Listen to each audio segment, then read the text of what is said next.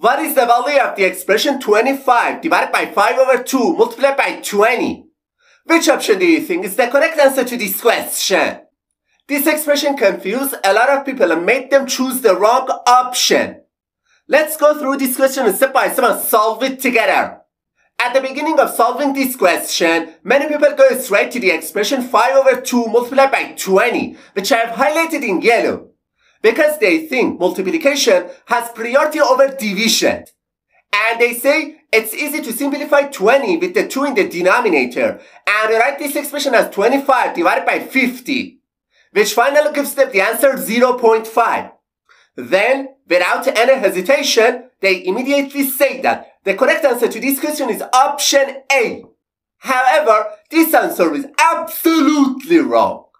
Alright, now let me explain step by step how we should solve this expression correctly.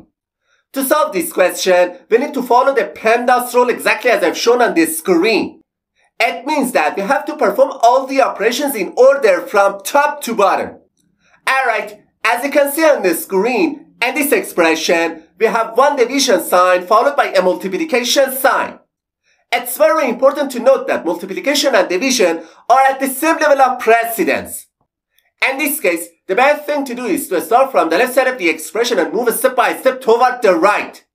So, first we start with the expression 25 divided by 5 over 2.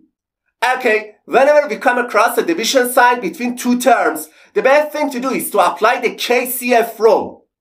And this rule, K stands for keep the first number as it is. C stands for change the division sign to multiplication, and F stands for flip the second fraction. So, we remove the highlighted part and replace it with 25 multiplied by 2 over 5. Now, the number 25 cancels out with the 5 in the denominator, and this expression simplifies to 10 multiplied by 20, which finally gives us the answer 200. Therefore, option D is the correct answer to this question.